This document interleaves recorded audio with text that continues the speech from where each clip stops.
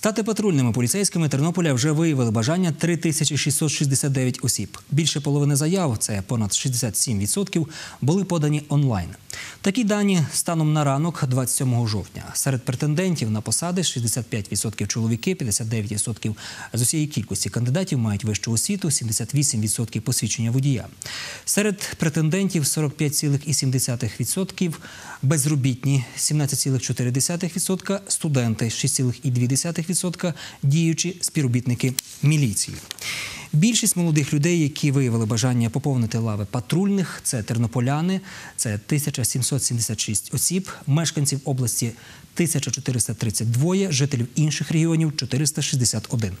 Зазначимо, участь в конкурсі може взяти кожен громадянин України незалежно від статі, віком від 21 до 35 років, який фізично розвинений, має водійське посвідчення категорії Б, не має судимостей, вільно володіє українською мовою та прагне змін.